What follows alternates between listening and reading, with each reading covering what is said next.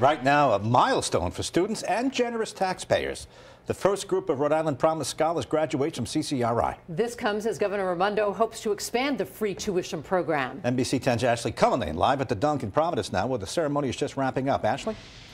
850 CCRI students graduated today, and among them, about 285 students are Rhode Island Promise Scholarship Scholars, which means that they receive tuition free from the state. And the crowd here today heard from Governor Gina Raimondo and Rhode Island scholar Alize Brito. She's a Promise Scholar who was the first in her family to go to college. CCRI reports about 300 of the roughly 725 students who received the scholarship in 2017 did not earn it for their second year. The requirement maintain a 2.5 GPA, but the college says the program is still having a big impact.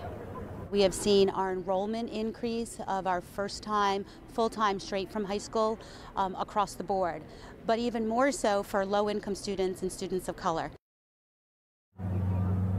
Governor Raimondo's 2020 budget proposal includes $13.2 million to expand this free tuition program to Rhode Island College. That would give students free tuition for their final two years. However, some lawmakers have said that they're not sure if the state can afford that. At 7 o'clock, hear from the Rhode Island scholar herself. Live in Providence, Ashley Cullinane, NBC 10 News.